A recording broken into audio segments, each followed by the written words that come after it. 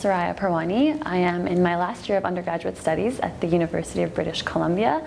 I'm majoring in political science and also obtaining a minor in economics. Um, I've always wanted to support organizations that support international relations through trade and investment.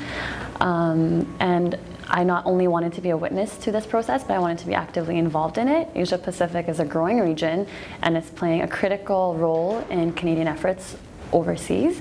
So I thought, why not get involved and increase awareness and coverage with specific issues that I'm very passionate about. My role on the council is VP Communications. So I would be working with our internal um, stakeholders. That includes various members on council and ensuring that we are always prepared and are trying to be able to spread as much awareness as we can about the efforts and the events that we're going to be hosting. Last summer, actually, I volunteered at an organization called the Organization for Policy Research and Development Studies in Afghanistan.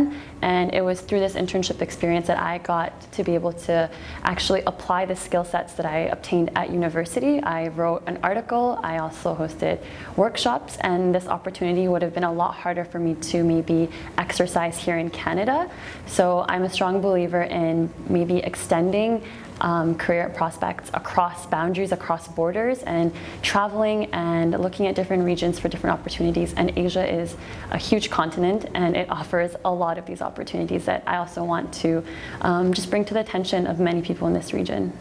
I'm extremely interested in Central Asian affairs. As of right now, I'm actually writing a paper called which actually is a comparative analysis between Iraq and Afghanistan. And this paper will be featured on the Organization for Policy Research and Development Studies journal, which will actually be presented to the government in a couple months. So in terms of career aspects, I always want to be um, aware and engaged in um, various issues and various opportunities in Asia because I feel that we're shifting from more national organizations to international organizations and that requires us to have a good understanding of various different concerns and key themes that impact us as a globe.